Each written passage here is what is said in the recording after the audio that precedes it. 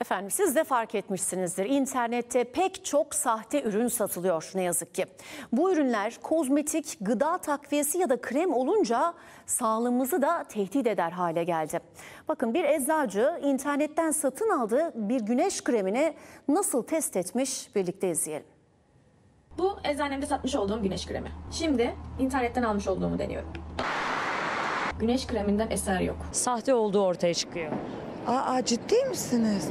E o zaman yani birçok hileler yapıldığına göre her şeye güvenilmemesi lazım. Kolajen, omega, vitaminler, internette birçok sahte gıda takviyesi bulunmakta. İnternetten satılıyorlar, kutuları, ambalajları. Çıplak gözle baktığınızda görüntüleri, her şeyi birebir aynı. Ama ne yazık ki internette o ünlü markaların ürünlerinin taklitleri cirit atıyor. Çok duydum evet. Yanlış ürünler çıktığını, alerjen olduğunu duydum. Özellikle bakım kremi, güneş kremi, parfüm ya da gıda takviyeleri. Bakın bir eczacı internetten ünlü bir markanın güneş kremi diye aldığı o kremin sahte olduğunu nasıl ispatladı? İçinde ne olduğu belli olmayan, güneş kremi dahi olmayan bir ürün. Bir de herkesin evinde UV ışığı yok. Belki farkında değiliz ve sahte ürünler sürüyoruz. Parama da cildime de yazık. Öncelikle işte belli başlı alışveriş sitelerinde yorumlara bakıyorum ben. Bakın bir yanağına eczanede satılan gerçek ürünü sürdü. Diğer yanağına da internetten sipariş ettiği Bundan hatta birkaç tane daha alacağım. Güneş kreminden eser yok. UV ışığında